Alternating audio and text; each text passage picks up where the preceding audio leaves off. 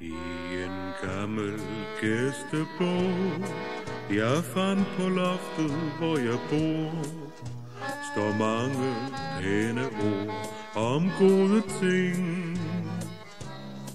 Der står mange kønne vers og rim som tak til far og mor. På første side står der disse ord. Lidt flere lyse smil Lidt mindre bitterhed Lidt færre spark Til den, der helt er slået ned. Lidt mere vin.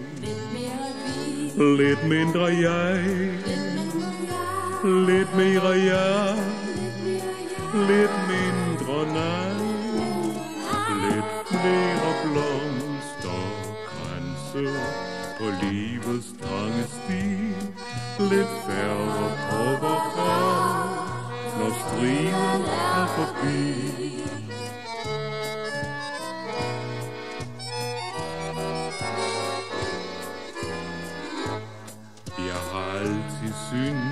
At disse ord var der noget særligt ved.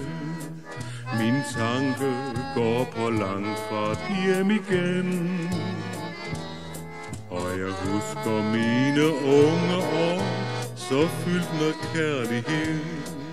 Og dengang disse ord blev skrevet ned. Lidt flere lyse smil, lidt mindre bitterhed, lidt færre spark til den, der helt er slået ned. Lidt mere vin, lidt mindre jeg, lidt mere jeg, lidt mindre nej, lidt mere blomster kranse på livets trange sti, lidt færre på vor grav, når striden er forbi. Lidt færre på vor grav, når striden